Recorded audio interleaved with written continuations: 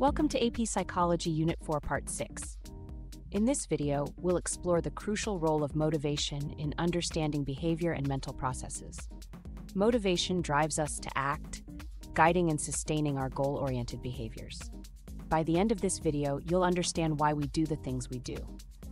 We'll cover various theories and concepts to shed light on this complex topic, improving our understanding of not just psychology, but ourselves and others. So, let's dive in and unlock the mysteries behind what moves us to action. Let's dive into major theories of motivation drive reduction theory, arousal theory, and self determination theory.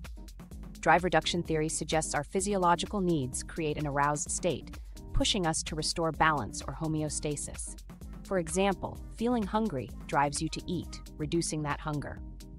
Arousal theory posits individuals strive to maintain an optimal arousal level. According to the Yerkes Dodson law, performance improves with arousal up to a point, after which it declines. Think of test taking. A bit of nervous energy sharpens focus, but too much can overwhelm. Self determination theory highlights intrinsic and extrinsic motivation. Intrinsic comes from within, like the joy of learning, whereas extrinsic is driven by external rewards. By understanding these theories, we grasp why we pursue certain goals and how different factors influence our motivation.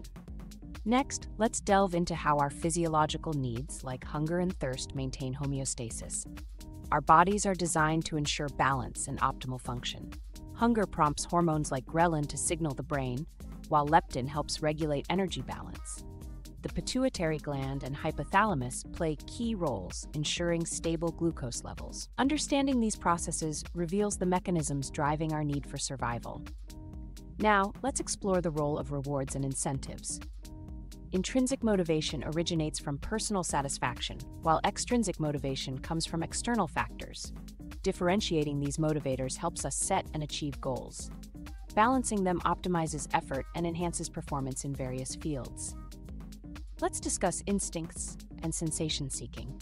Instincts are innate behaviors like self protection. Sensation seeking is the pursuit of novel, intense experiences. Understanding these helps us see how inherent instincts and the quest for thrilling experiences shape motivation and behavior. Next, we'll discuss Lewin's motivational conflicts theory, which identifies three types of conflicts approach approach, approach avoidance, and avoidance avoidance. Approach approach involves choosing between two desirable outcomes, like a concert or sports event. Approach avoidance occurs when an option has both positive and negative aspects, like deciding on a dessert that may affect your diet. Avoidance avoidance is choosing between two undesirable options, such as cleaning your room or doing homework. Lewin's theory helps us understand the complexities behind our choices, influencing decision making. Recognizing these conflicts helps navigate life let's examine how physiological needs and social factors influence our eating behavior. Our drive to eat is rooted in physiological needs like hunger. Hormones such as ghrelin and leptin regulate hunger and satiety. Social factors like belongingness and cultural norms significantly impact eating behavior. Understanding these influences provides insight into how motivation drives our eating habits as a complex interaction of physiological and social factors. Now, let's see how these theories apply in real life scenarios. For instance, a student driven by both intrinsic and extrinsic motivation can excel in school. In the workplace, understanding the balance between rewards and incentives can improve productivity and job satisfaction.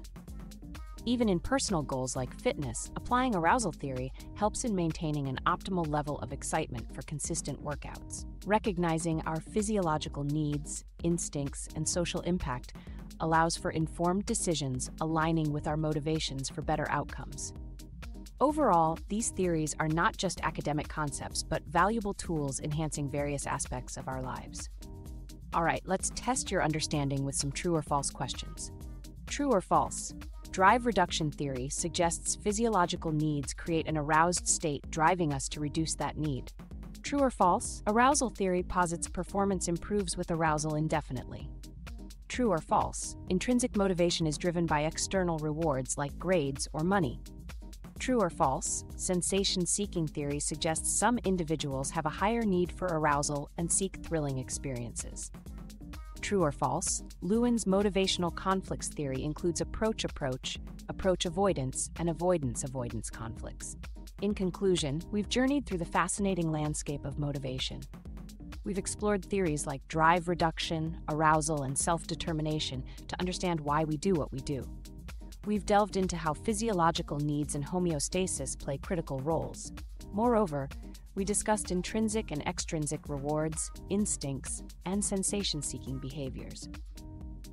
Lewin's motivational conflicts theory gave us insights into decision making complexities. We've also looked at how physiological and social factors shape eating behaviors. Understanding these concepts helps us apply them in daily life, enhancing choices and achieving goals. Thanks for watching, and see you in the next lesson.